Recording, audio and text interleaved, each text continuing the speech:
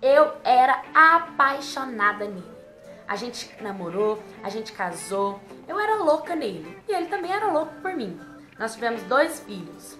Depois que meus filhos até já estavam bem grandes, eu comecei a sentir que ele estava me tratando diferente. Mulher sabe quando tem alguma coisa de errado. E eu falo para vocês, intuito, sexto sentido é o GPS da alma. Vai atrás, procura.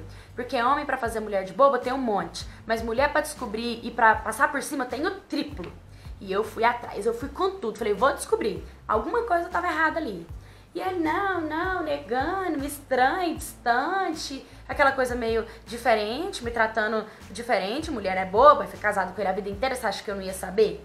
Aí eu peguei, falei que ia descobrir, tão bom, mas, mas a vida é tão justa com a gente, porque a gente pede, a gente é honesta, a gente é fiel, para ser fiel com a gente também, porque a gente não foi feita para ser boba, não. Aí eu peguei, nesse mesmo dia eu sou doméstica, sou feliz sendo doméstica. E aí eu fui, queria ir embora mais cedo para casa e peguei um ônibus que faz outra rota diferente da minha rota. E eu entrei dentro desse ônibus e tô dentro do ônibus. E a minha cabeça, tinha uma semana que eu tava encucada que tinha acontecido alguma coisa, que tava acontecendo alguma coisa.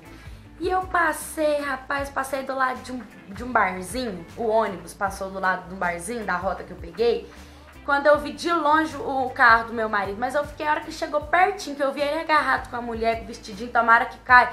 Parei no primeiro ponto perto, vim andando. Mas eu catei a cabeça dele, eu dei tanta pancada nele, eu rebentei no pau, quebrei ele, não acreditei. Falei, sou infeliz, foi 10 anos me dedicando para você dedicando, tendo filho, tivemos dois filhos, temos casa, temos carro, carro era pra nosso, era pra ter eu, era pra você estar tá me buscando serviço, não era pra estar tá com vagabundo no beirada de bar, não, no beirada de boteco. Ela veio falar alto comigo regacei a cara dela também, bati na cara dela, esfreguei a cara dela no chão, ranquei aquele vestidinho, tomara que ela ficou pelada. Sabe o que, que filha da mãe fez?